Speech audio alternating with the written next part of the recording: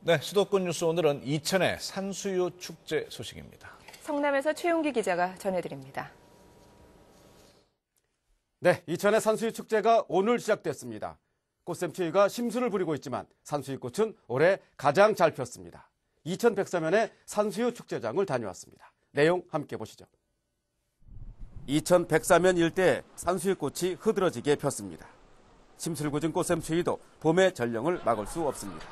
올해 산수유 꽃은 개화 주기와 딱 맞아떨어지면서 몇 년 새 가장 화려한 자태를 뽐내고 있습니다. 다른 나무들은 아직 꽃이 안 폈는데 노란 산수유꽃이 피어 있어가지고 예 개나리하고 어울리게 보기 좋습니다. 올해 처음으로 연인의 길이 만들어졌습니다. 주위의 꽃이 너무 좋다 보니 그냥 걸어갈 수가 없습니다.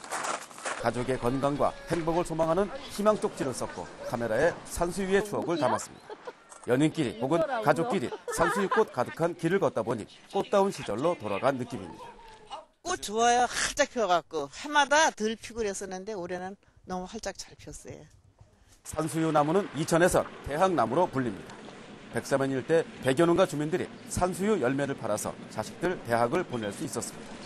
산수유 열매는 한때 중국산에 밀려서 값이 폭락하는 등 어려움을 겪기도 했습니다. 하지만 토종 산수유의 효능이 알려지면서 가격이 정상을 되찾았고 지역 경제 효자 노릇을 톡톡히 해내고 있습니다.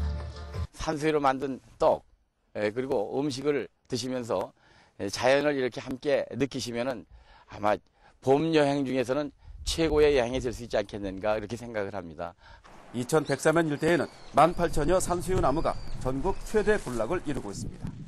나무의 나이도 100년이 넘은 것이 대부분이고 500년 세월을 지켜온 나무도 있습니다. 오늘 시작된 이천의 산수유 축제는 모레까지 계속됩니다.